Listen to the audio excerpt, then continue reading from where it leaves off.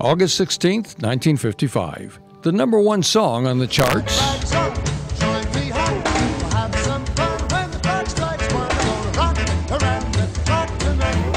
At the box office, audiences were crowding into theaters to watch Henry Fonda in Mr. Roberts. And the top news story of the day after killing 43 in North and South Carolina, as well as in Virginia and Maryland, Hurricane Connie was dissipating.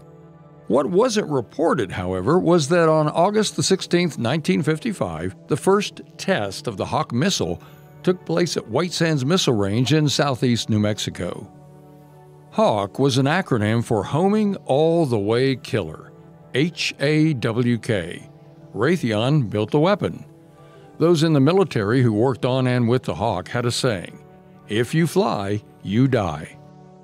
Raytheon produced this now historic promotional film that shows a test of the very first time a missile, the Hawk, intercepted another missile, the Honest John. Announcing an intercept test by Army Hawk Project Command. Eight, seven, six, five, four, three. An Honest John two, target missile is launched for its role. Fire.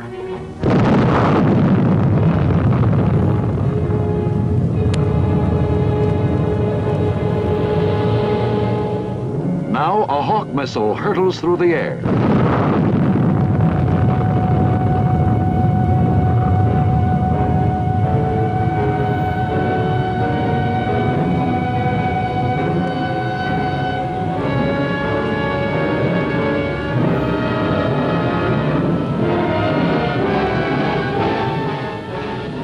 Aptly named, it swoops down for the kill. Here is drama as the camera arrests the action to offer visual evidence of the Hawk's unerring guidance system. Visual evidence of its lethal punch.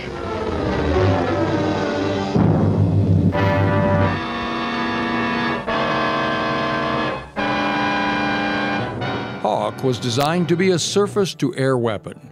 Smaller than previous missiles, the reduced weight made the Hawk more mobile. That did cut down somewhat on the distance that the missile could travel when launched.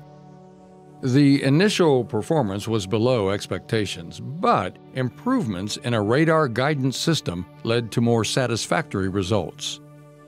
The Hawk prototype entered service in 1957 and the basic Hawk two years later. Improvements continued over time.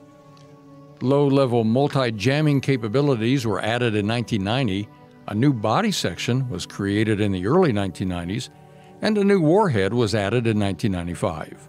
Hawk soon became a staple in the stable of weapons of the United States Army.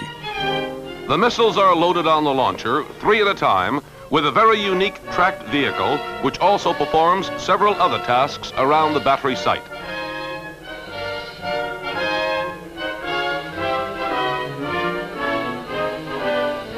Hawk, unlike any other anti-aircraft missile system in production today, is extremely effective at the very lowest altitude that the enemy could possibly fly.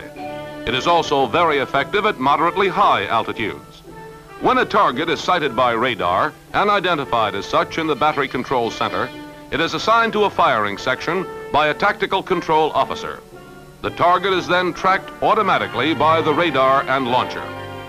When the target is within range of the missile, the fire control operator presses the fire button and the missile is launched.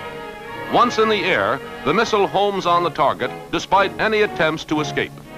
Hawk in development has been fired successfully at many kinds of the most modern high-speed targets available. Research and development of Hawk has been carried out at Raytheon in Bedford, Massachusetts, and at White Sands, New Mexico.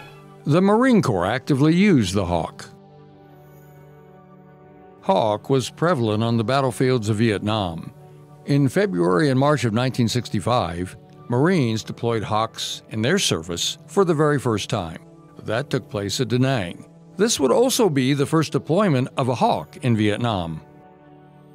During the Cuban Missile Crisis, Hawks were set up in Florida, ready to launch if enemy aircraft invaded. The Hawk has an extensive combat history with other countries as well. In March 1965, the 1st Hawk Battalion to Israel was deployed. In October 1973, during the Yom Kippur War, Hawks destroyed numerous aircraft.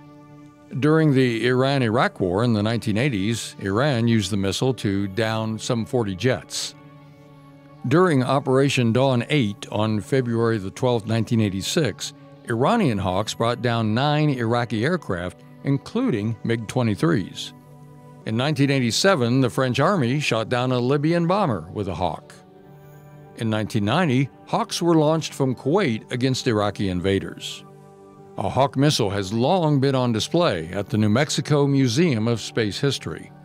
The Hawk had nearly 40 years of service when, in 1994, the Army transitioned to the Patriot missile. Not until 2002 did the Marines discontinue use of the weapon when they adopted the Stinger.